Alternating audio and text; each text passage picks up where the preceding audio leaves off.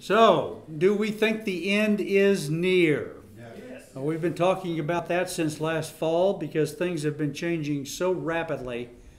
Not in my lifetime have I ever seen things coming together like th- they are now. And um, so I don't want you to be too concerned about it because, as I have said, things are not out of control. They're right on schedule. Satan's main tactic is to cause division, right? Absolutely.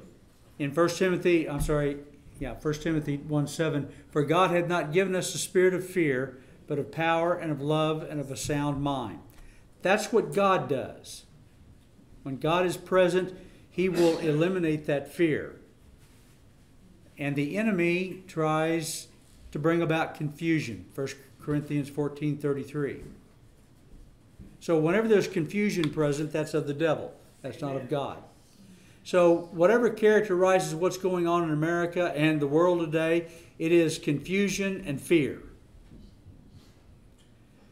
So when God is at work with a group of people, there will be clarity and faith. There will not be confusion and fear.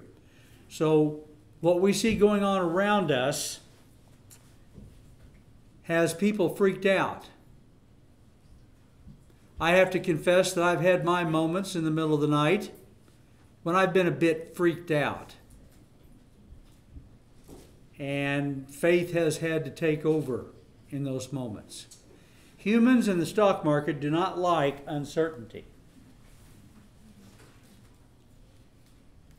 Here's everything you need to know. If you don't get anything else out of this message, I'm going to tell you everything you need to know about the coming end of things, which for the believer isn't the end of things at all. Amen. The great reset is going to be the rapture of the church. But here's here it is. Get this in your brain and you won't be freaked out. Looking unto Jesus in Hebrews chapter 12 verse 2. Looking unto Jesus, the author and finisher of our faith, who for the joy that was set before him endured the cross, despising the shame, that is, not counting the shame a big deal, and is set down on the right hand of the throne of God.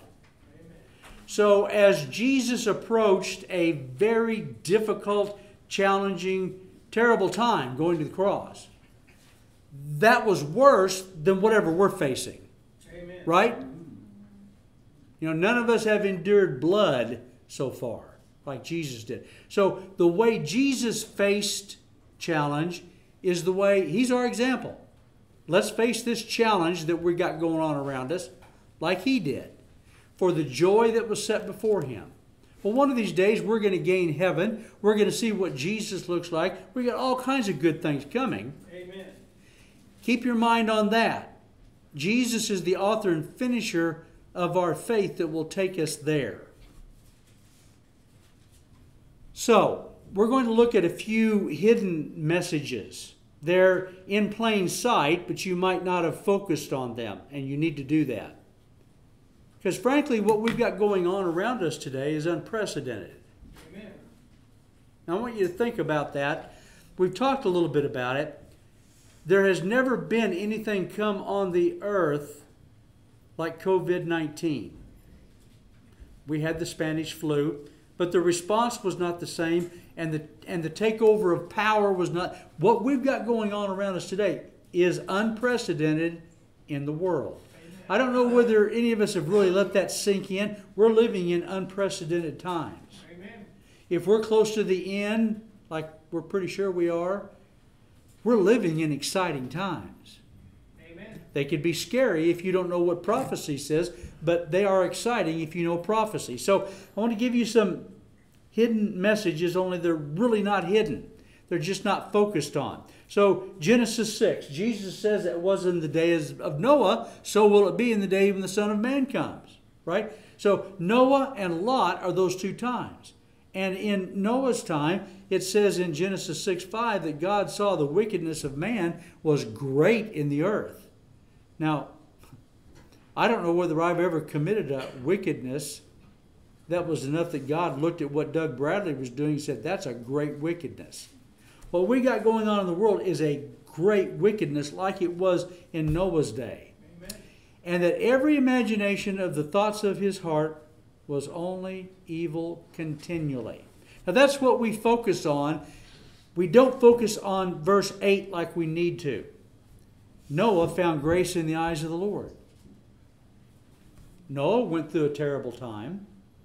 He went through the angels, uh, the fallen angels, the sons of God, and the daughters of men, and the giants, the Nephilim, and, and all of that. But Noah found grace in the eyes of the Lord.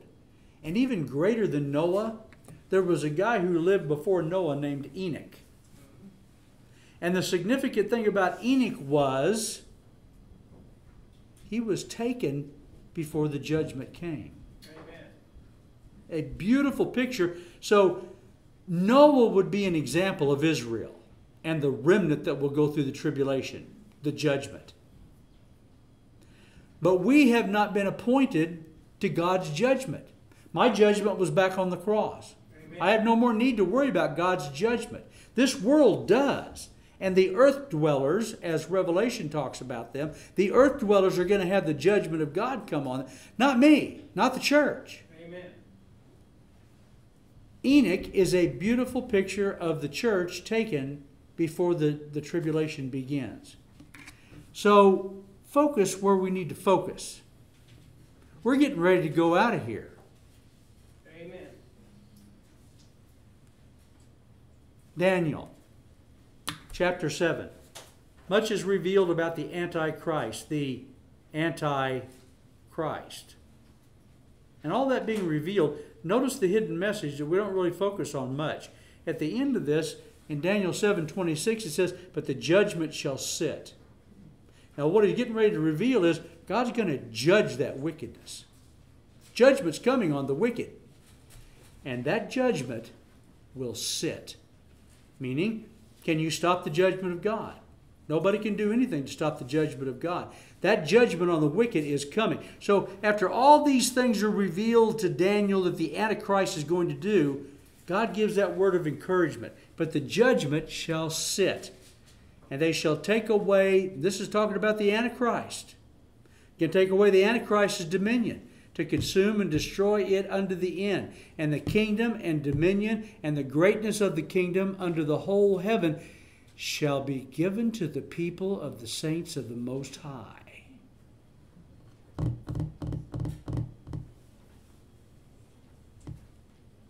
Nobody's getting away with anything. The Antichrist is going to pay. The earth dwellers are going to pay. The wickedness that's going on is going to be paid for. And that kingdom is going to be an everlasting kingdom that's going to be given to the saints. And all dominions shall serve and obey him. Hitherto, to the end of the matter. Now, notice, as for me, Daniel says, my cogitations much troubled me.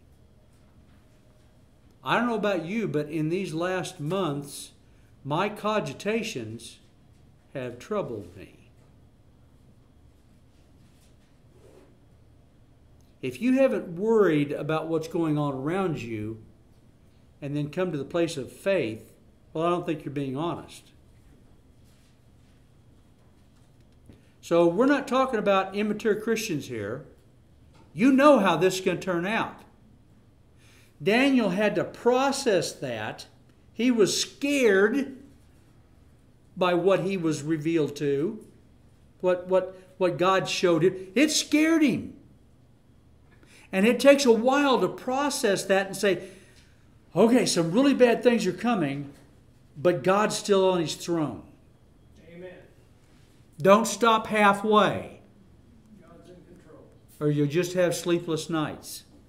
This is the word from God to Daniel, not the New York Times. It's the word from God to Daniel. His judgment's going to sit when it comes. Matthew 24, 6. More hidden messages in plain sight. Matthew 24, 6 is, of course, the chapter where Jesus is revealing to the disciples. They want to know what's going to be like at the end times when all these things begin to come to pass. Jesus says in verse 6. And ye shall hear of wars and rumors of wars. We're there. Yeah, clearly. See that ye be not troubled.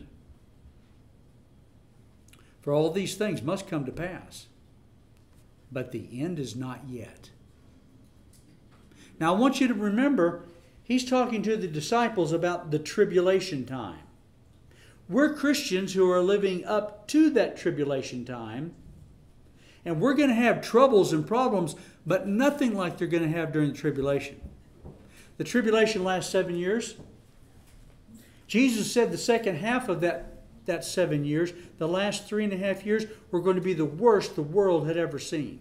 Brother Doug, Uh huh. kind of the way I look at that is, uh, you know, from, from what I see in the Bible, what I see going on, looks to me like there's been tribulation going on for a while in the world. And tribulation is gonna keep getting, getting worse and worse until it comes to that time where the great tribulation starts. And that's when, the- that's when the real trouble is. Well, the tribulation, in the prophetic sense, the way that the prophecy of the Bible uses tribulation, is that seven year period of Jacob's trouble. Prior to that, it's trouble, but not like Jacob's Right. trouble. Right, yeah. And the thing to remember, okay, so are we already into the tribulation? That's a question, a legitimate question. Are we already into the tribulation? Did we miss the rapture? Did we not get taken? Are we in the I- I tribulation? The world's tribulation. I'll just I'll just give you one thing that settles it and nails it for you. In order for there to be a tribulation, there has to be an antichrist. There's no antichrist. So there's no tribulation un, underway. Okay? There's a lot of Christians. In fact, there's been a real movement in the last two or three years, and it kind of goes along with the uh, the uh, Calvinism movement that's been going on in the convention. They they derailed Israel. They say Israel doesn't count anymore. And they poo poo all this prophecy stuff that we're talking about for the most part. But Israel does matter. Absolutely. And Paul said they're going to be center stage again during the tribulation. And the church has always undergone persecution, and it's going to get worse. The church is already under. There was a, a teacher who resigned, Yeah, a young lady who resigned in front of the school board. yeah. and she said all this critical race theory and and so she had set through some training as a teacher that told her if you're a white christian american wasn't that the combination Yeah. white christian I got told I was a white female heterosexual Christian. maybe that's what it was something like if you're that she was told in training that has to stop that power that you have has to go away turn the uh, air conditioner on it sounded like it went off it couldn't have is it okay i can't hear so all of this stuff is persecution that's going to come more and more on the believer that's not tribulation. That's not the seven years tribulation. That's not that's what God is going to do to this world. God's not going to do that to us. He always takes out, for example, Enoch, as I've mentioned, he always removes his believer before he brings the judgment on the ungodly. He doesn't bring his judgment on the believers, he brings it on the ungodly. Lot, Jesus said the other time, you want to know when things are going to look to the time of Lot? Noah and Lot. Well, what happened? You've got Lot who's taken out of the way just before judgment comes. A beautiful picture of how God, these are God's ways. He doesn't bring judgment on believers. He removes the believers out of the way and then he brings judgment on the ungodly. Second Thessalonians 2 2, kind of the go to passage about the Antichrist and the tribulation. Paul wrote that to them that they not be soon shaken in mind or troubled. So Paul wrote the words of the word to believers to encourage them that they didn't need to be troubled. You and I don't need to be troubled. 2 Thessalonians 2 7 tells us, For the mystery of iniquity, and that's where I want to camp out a little bit. The mystery of iniquity doth already work. And that's in Paul's day. So it's been working all along. The mystery of iniquity. And you'll notice that the for the mystery of iniquity doth already work until he, not it, but he, and you'll notice it's not a capital H, until he who now letteth will let. And the word letteth is a Greek word that means to hold down. Think of a police officer pursuing a bad guy, tackling him, holding him down. Okay, that's the picture. So there is a he who is now holding things down until he be taken out of the way. And then shall that wicked be revealed. Here's how we know that we're not going to see the Antichrist. If you look at the previous verses, it kind of gives you the idea we're going to see the Antichrist and then we're going to be taken. But this verse 8 is what kind of nails it down that we're going to be taken and then the Antichrist is going to be revealed. And then shall that wicked be revealed, whom the Lord shall consume with the spirit of his mouth and shall destroy with the brightness of his coming. So, the mystery of iniquity. Let's talk a bit about that.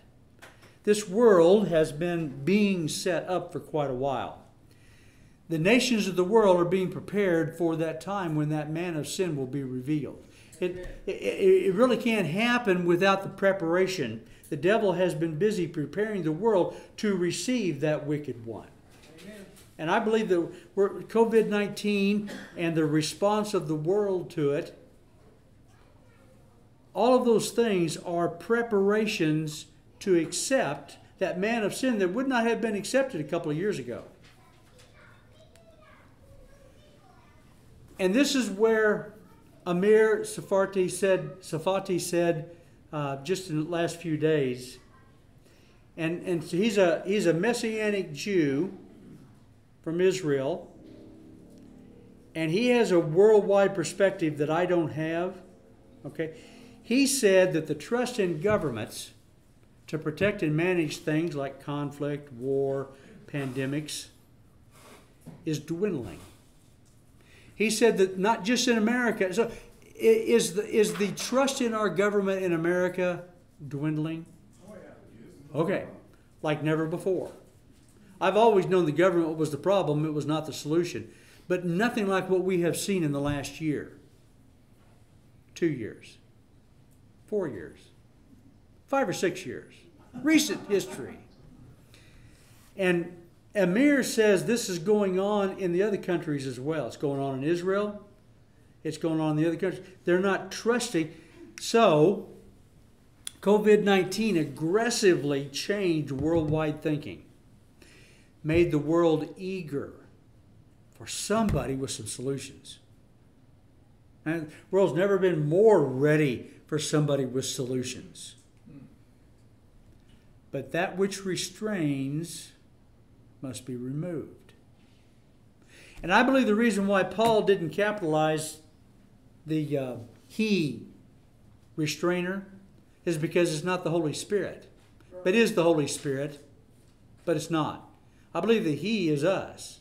I believe the church is the reason why, okay, I suspect that Joe Biden probably dreams, dreams of all the evangelical Christians just going away because then he would have a free hand. And frankly, it's uh, evangelical Christian believers in Congress and etc. that are keeping them from just doing whatever they want to. Amen. Now, it looks like they're having the upper hand, and they are. But they're not just doing anything they want to without being restricted. But can you imagine a world, John Lennon? Imagine a world with no Christians. Imagine if every single one of your neighbors was a non believer. Imagine if every police officer, every elected official, imagine if everybody around you was a non believer. That's what's coming. When the rapture of the church takes us out of here, there'll be nobody left behind except for those who are ungodly. Now, I don't know whether that, that's not an easy thing to take in, what that would be like.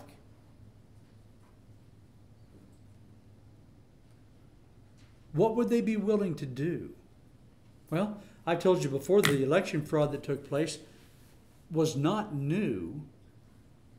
The election fraud that took place was taken to a next level. There's always been people who cheat. Chicago is famous for voting early, voting often. Right? I mean, that's, a, that's Chicago as long as I've been alive. That's their reputation. So there's been cheaters always, but the moral level of the nation has sunk to the level where in the last election, people across the board were willing to do things wrong that they wouldn't have done 20 years ago, 50 years ago. And so that opened up, we're, we're coming to the end of this thing, and it's like it's building, but it's not unrestrained. The Holy Spirit and the church are in the way of what? What exactly are we in the way of? Well, it's that mystery of iniquity in 2 Thessalonians 2 7. The mystery of iniquity. So, what is the mystery of iniquity? As far as I can tell, the mystery is that God lets it go on.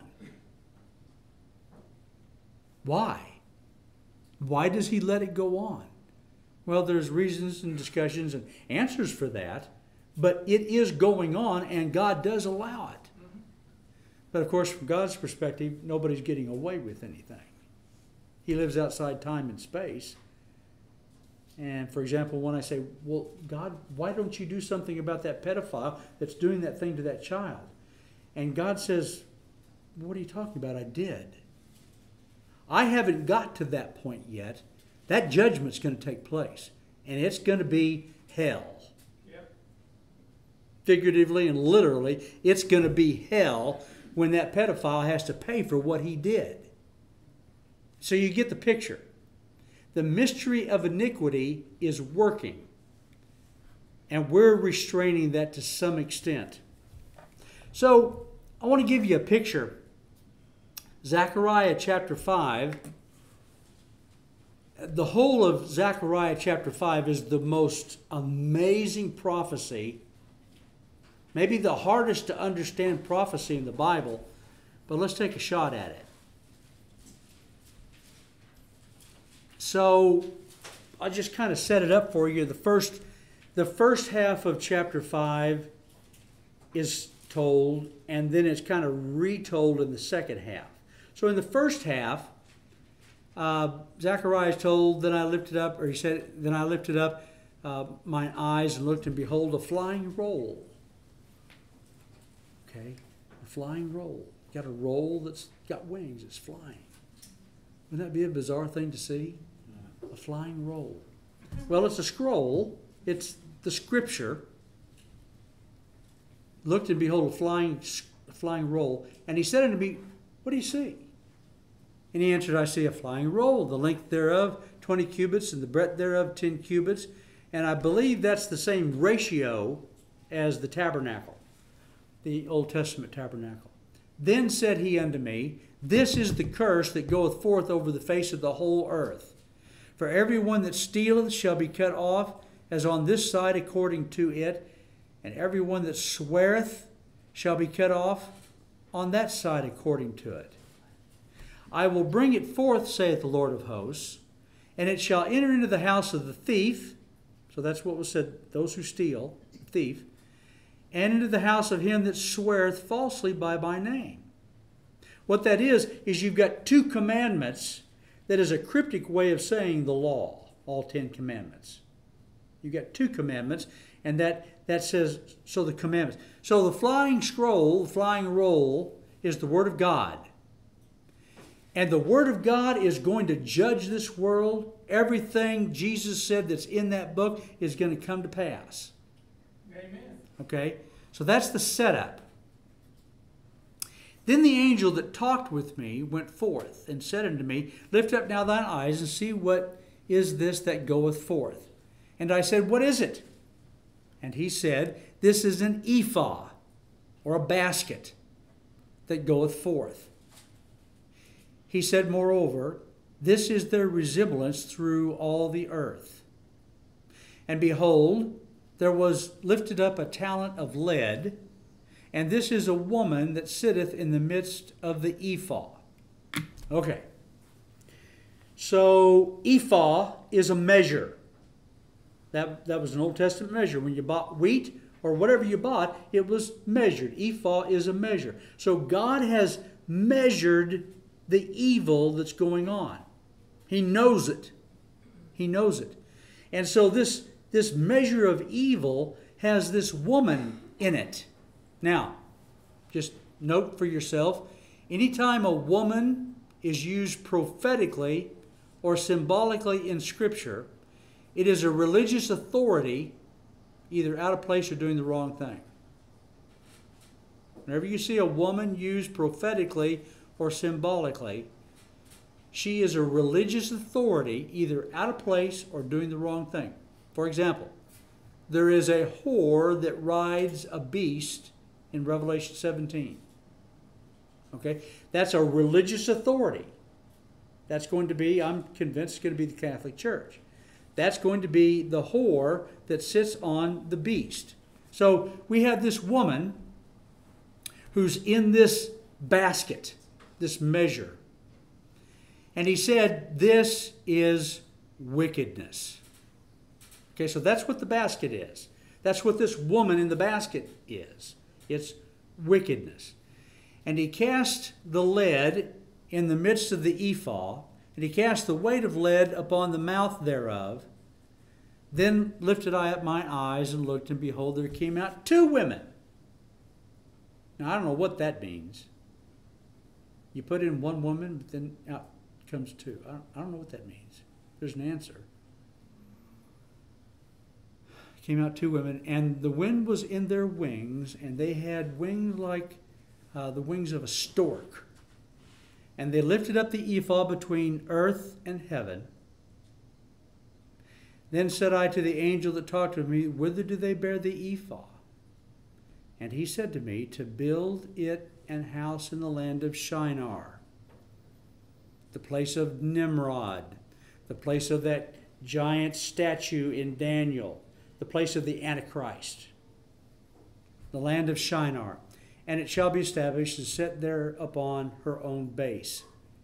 So, I believe, could be wrong, I believe this woman in this ephah is in the land. The land, Israel.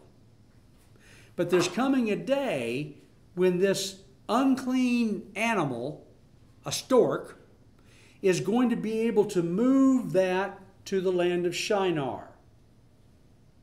Now, that's what's going to happen. I don't have a clue what that means. Other than Babylon is going to rise. The power of Babylon is going to be in the land of Shinar. There's going to be a world economic power known as Babylon, and a religious power, and a political power. And it's going to have its base in Shinar. The great question is that literally in uh, Iraq? the land of Shinar, or is that symbolic of a world system? Or both? Maybe it's both. If it's going to be literally in Iraq, they need to get underway with it. So, if I'm thinking right about that, that means we're going to see Islam begin to grow and rise to a power there in the land of Shinar in Iraq. Okay, so there's all that and that's worthy of uh, two or three weeks of study. Have you got any question about that before we move on? That is wickedness that's going to be measured by God. He's going to know what wickedness is. He, he got it measured. And it's going to be sealed The lead talent was placed on that woman. She, she's not free to do what she wants to now. But there's going to be a day when it's going to break forth and wickedness is going to be freed. That's the rapture of the church and this coming Antichrist in the tribulation time.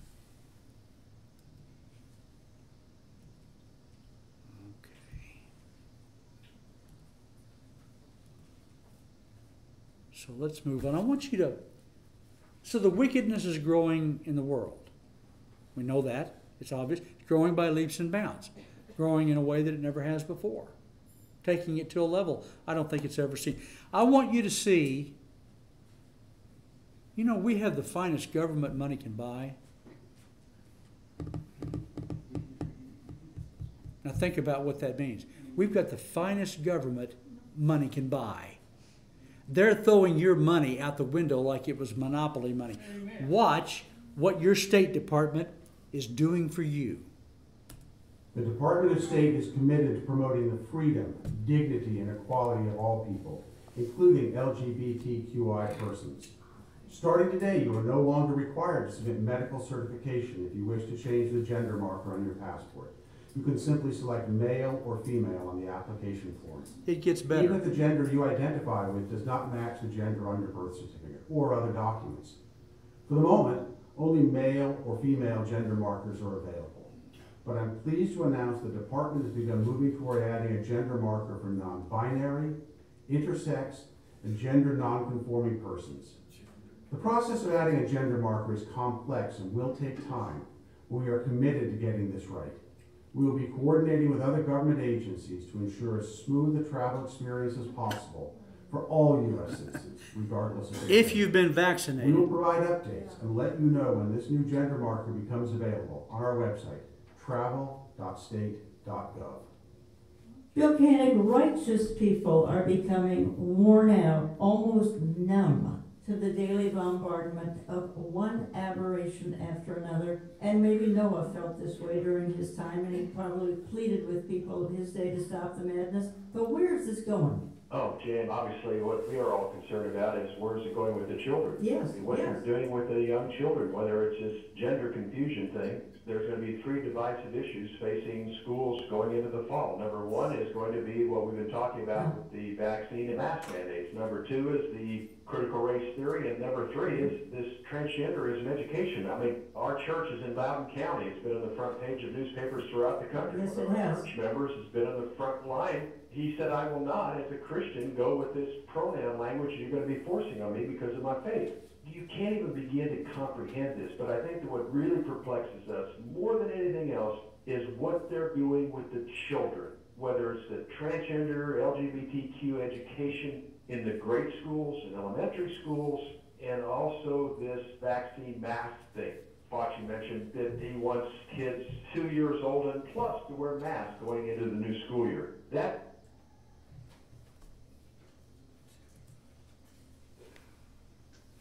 so Dr. Chuck Missler, how many of you are familiar with him? Good guy. He's with the Lord now. So I ripped this off from him just to give credit where credit's due.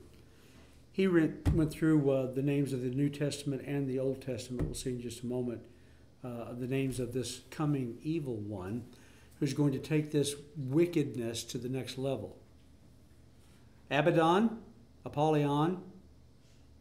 Some of you might be familiar with some organizations who use those titles as if they were a good thing.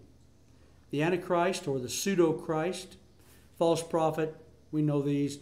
The lawless one, man of sin, the one who comes in his own name. That's interesting. He comes in his own name. Son of perdition, that we talked about, the son of hell last week. And then there's a lot of. So, my point to show you this was this guy is talked about all over Scripture. Aside from Christ, I don't suppose there's any other one person talked about as much as the Antichrist. Amen. And yet, and I don't mean to be demeaning or pick on anybody, but just to pluck a figure out of the air like liberals do, uh, I'll bet there's not one in 50 preachers that ever even utter one of the names or talks about the Antichrist. Well, what's that tell you about the state of the church in America? Okay, so we talked about AI and aliens a couple of weeks ago because this is all going to feed into this. I'm not going to go back over all that, but I do want to talk a little bit about the artificial intelligence. It's getting intelligencer. Did I share this with you last week? I didn't think I did. So, AI enabled this guy who lost his wife, his girlfriend, I'm sorry. Grieving man uses AI site to chat with his dead girlfriend. So, without reading all of it, let me tell you what they did. So, let me explain what AI is. AI is just a mass of huge amounts of data and supercomputer capabilities that we've got now almost in our phones to be able to take that information and do something with it.